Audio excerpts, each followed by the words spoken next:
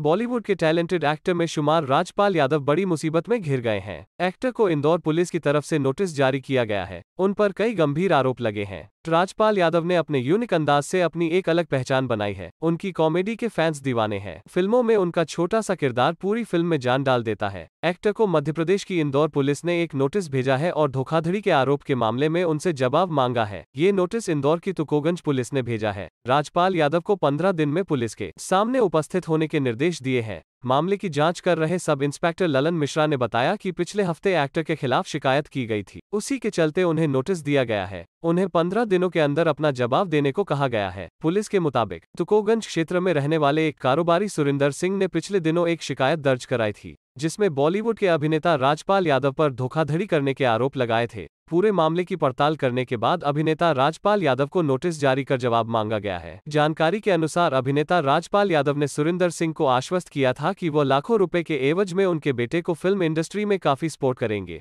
ताकि वो film industry में काफ़ी आगे पहुँच सके। पुलिस से की गई शिकायत में सुरिंदर ने बताया कि वो राजपाल यादव की बातों में आ गए और उन्होंने 20 लाख रुपए दे दिए थे। लेकिन पैसे लेने के बाद न ही राजपाल यादव ने सुरिंदर सिंह का फ़ोन उठाया और न ही उनका पैसा लौटाया है। आपका इसके बारे में क्या कहना है? कमेंट में ज़रूर बताएँ।